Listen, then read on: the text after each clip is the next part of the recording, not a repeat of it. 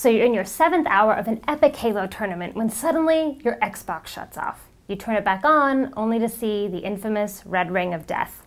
Hi, I'm MJ with iFixit, and today I'm going to show you our Xbox 360 Red Ring of Death repair kit, an easy and inexpensive solution to resurrect that dead Xbox. By far, the most common reason for getting the Red Ring of Death is overheating, which causes the breakdown of the solder that holds the CPU and the GPU in place. So we've created a kit that includes all the parts and tools you'll need to fix this problem. However, you'll want to check the troubleshooting page on our site to make sure that our kit will fix your Red Ring of Death problem.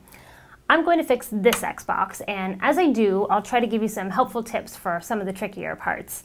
When you're fixing your Xbox, you'll want to make sure to follow the repair guide on ifixit.com because even though it's not a tough repair, there are a lot of steps. So I've got all of my parts and tools laid out, including a screw tray, which doesn't come with the kit but is really useful because there are a lot of screws. I've already gotten started with this Xbox, and before I go any further, I want to highlight the Xbox opening tool because it is a whole lot easier than using a metal spudger and it won't damage the outside of the case. The opening tool is two-sided, so you're just going to match the tabs up with the holes on the Xbox.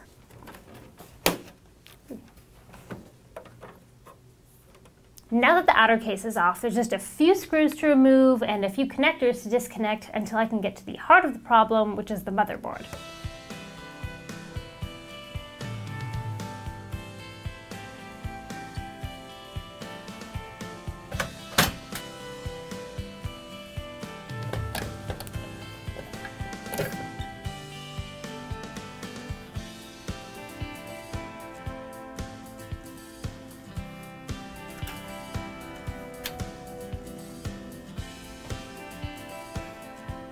So now that we've got the motherboard removed, we're going to need to remove the heat sinks, which are held in place by these X clamps down on the underside of the motherboard.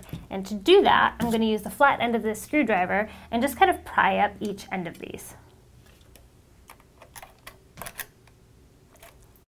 This last clamp is what's holding the heatsink on. So before you go undoing it, make sure you support the heatsink. That way when you undo the clamp, it doesn't fall on the ground.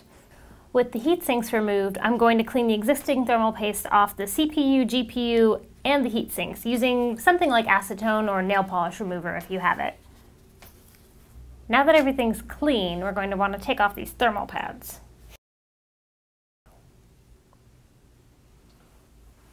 Our last step of disassembly is to remove these posts from both heat sinks.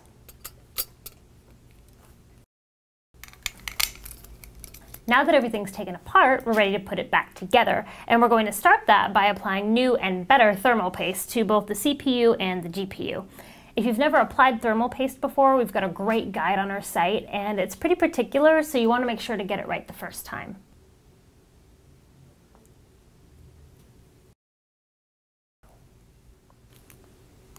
So we're going to replace the old posts with these machine screws because the machine screws are going to hold the heat sinks onto the motherboard much tighter than the original posts.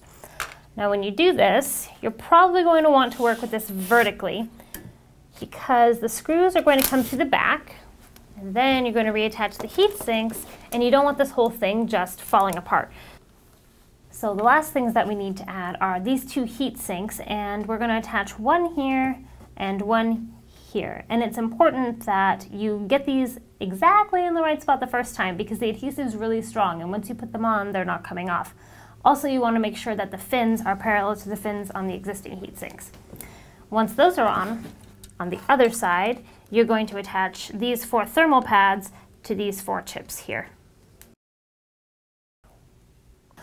With those pads attached, our repair is complete, and all I've got to do is put my Xbox back together.